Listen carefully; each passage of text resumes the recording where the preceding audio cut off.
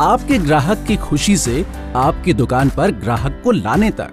Big bless हर कारोबारी की खुशियों की चाबी, खुशियों की अपनी दुकान।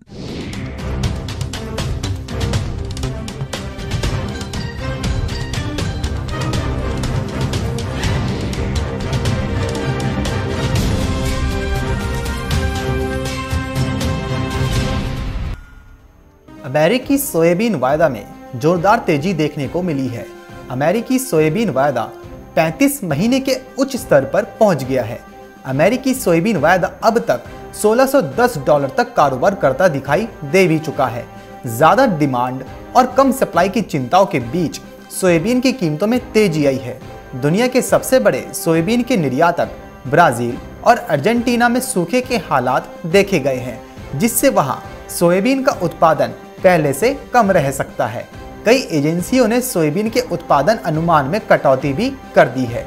सूखे के चलते ब्राज़ील और अर्जेंटीना में सोयाबीन की क्वालिटी और क्वांटिटी, यानी कि गुणवत्ता और मात्रा, दोनों प्रभावित हुए हैं। ऐसे में जो देश ब्राज़ील और अर्जेंटीना से सोयाबीन की खरीदारी करते थे, अब वे अमेरिकी सोयाबीन की ओर रुख कर सकते हैं। वहीं जानकारों के अनुसार फरवरी में ब्राज़ील साढ़े सात मिलियन टन के करीब सोयाबीन का निर्यात कर सकता है, जो कि पिछले साल की समान अवधि के मुकाबले कम ही है।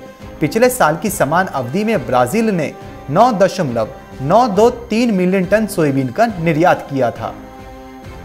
Report, market times TV.